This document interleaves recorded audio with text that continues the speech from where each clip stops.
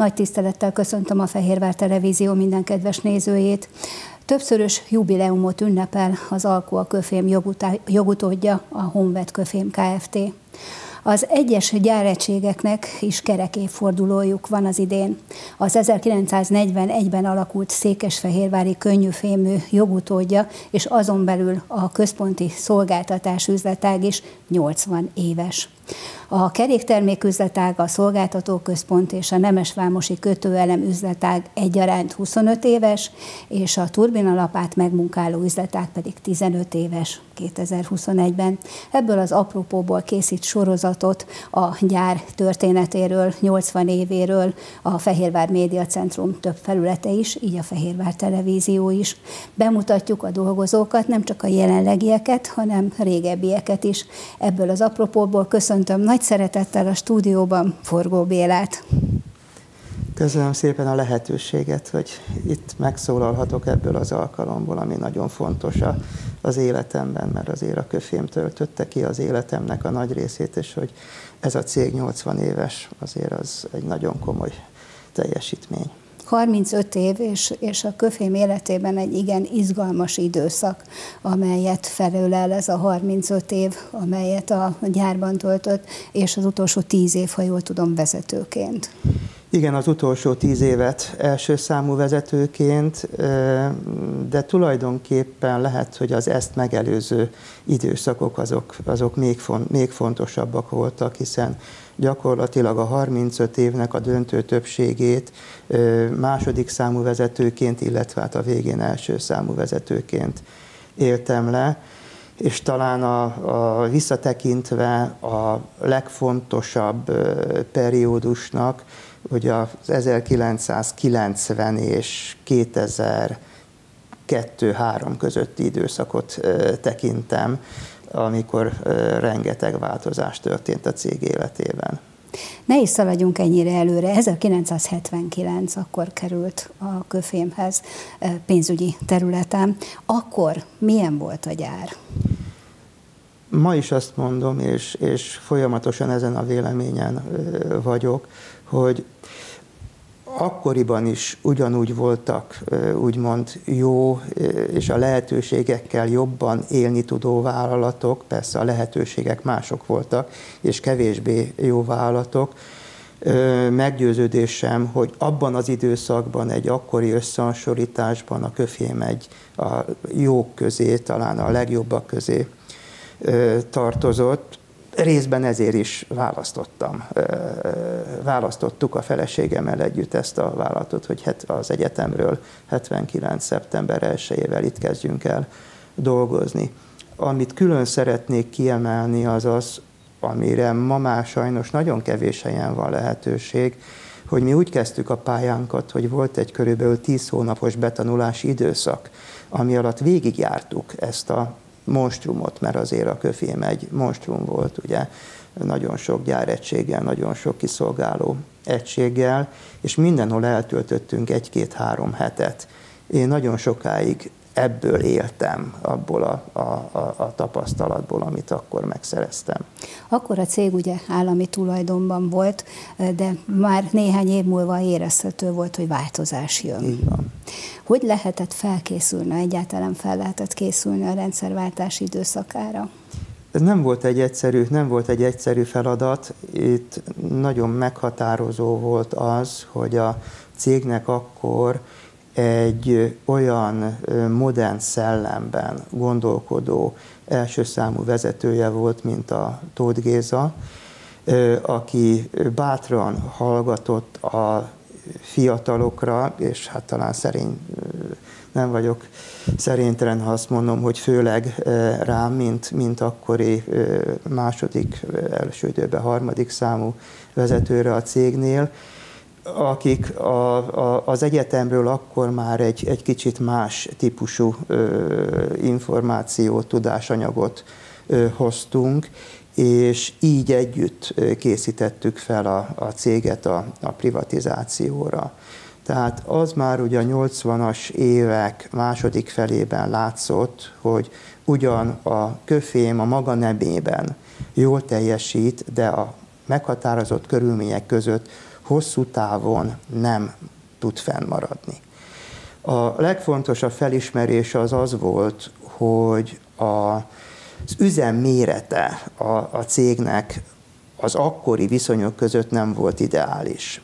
Túl nagy volt ahhoz, hogy csak, csak specialitásokat ö, gyártson, viszont túl kicsi volt ahhoz, hogy az akkori nagymenőkkel, tehát mondjuk egy Pesinével, vagy éppen az Alkoával, vagy még akkor az amaggal versenyezni tudjon Európában és világviszonylatban.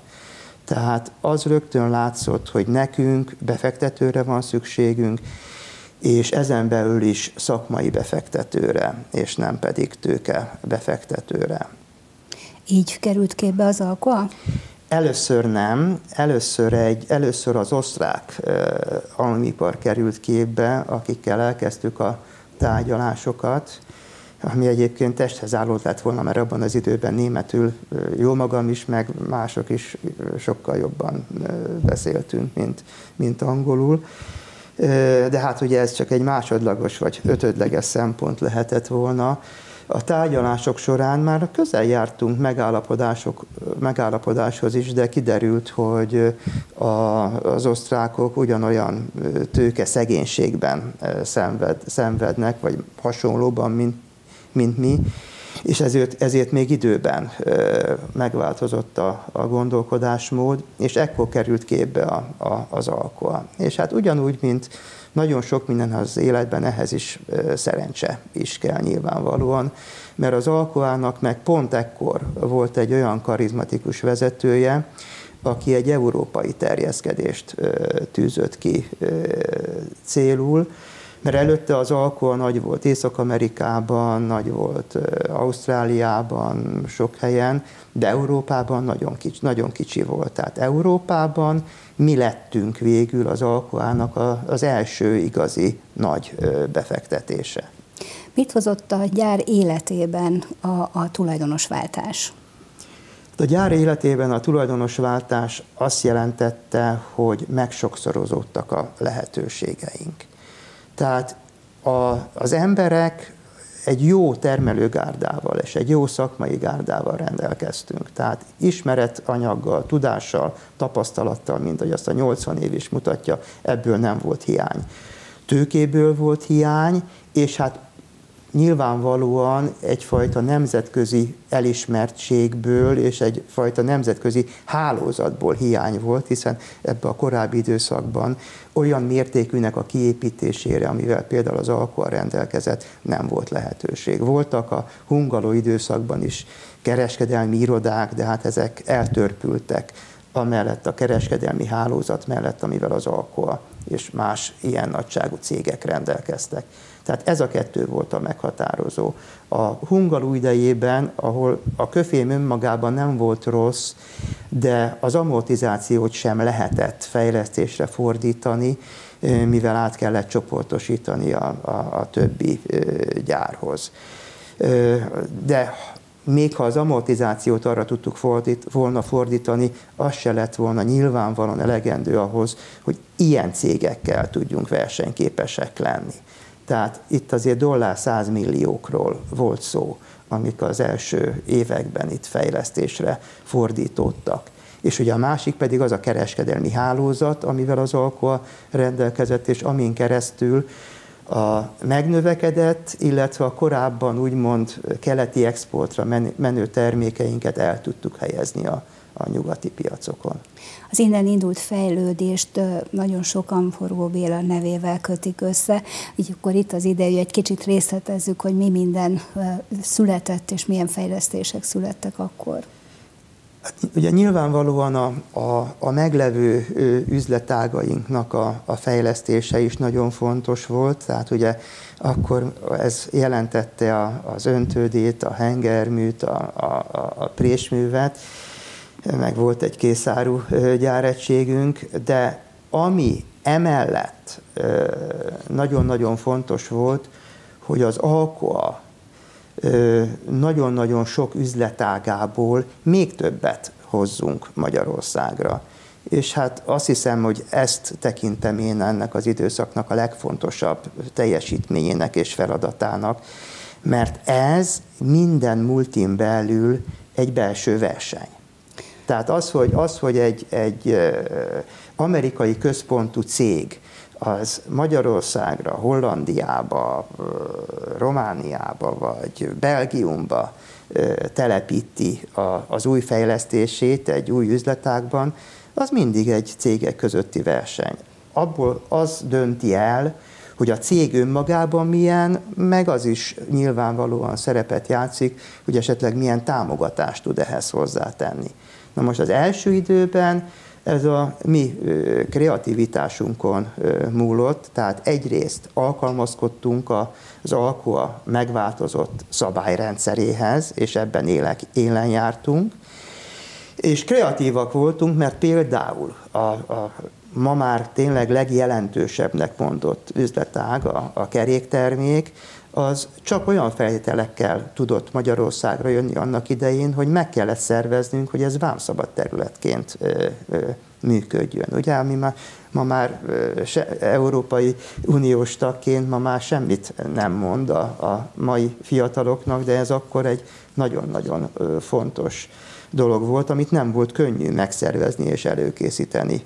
Meg tudtuk, meg tudtuk csinálni. És íme ez az üzletág azóta fejleszt, fejleszt, fejleszt, és hogyha a legutóbb átadott fejlesztéseket nézzük, az már összesen hasonlítható azzal, amit először csináltunk, hiszen akkor használt gépeket hoztunk be, ma meg a legmodernebb technológia, a legmodernebb gépek, robotok, minden van.